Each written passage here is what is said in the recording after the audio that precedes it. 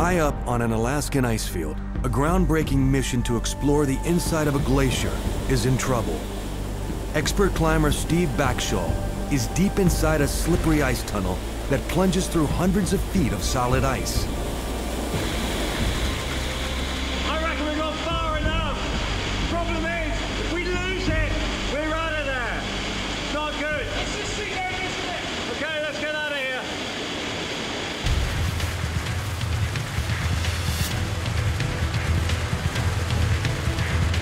Just as he decides to head back,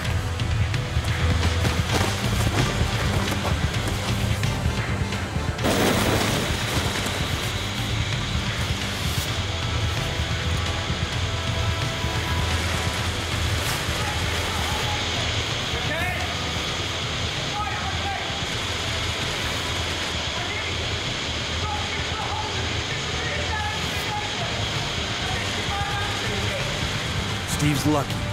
There's no way to know how far he would have fallen inside the glacier. He's shaken, shivering, and exhausted. Teammate Katie Walter is worried. We know that our colleague Steve is on the other end of the rope, which is dangling, and it's uh, it's scary to know that he's down there under this tremendous waterfall, going down as far as your eye will take you, and then it disappears. It sounds like a train going by at full speed. Steve's got to find the energy to haul himself out of the moulin.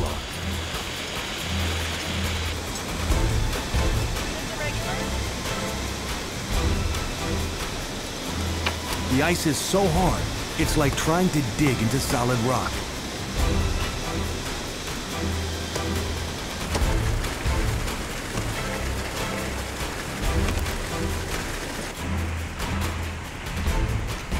Steve knows he's lucky to be alive. that was hardcore.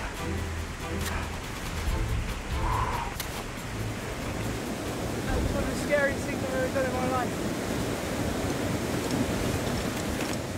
Steve, you are a hero.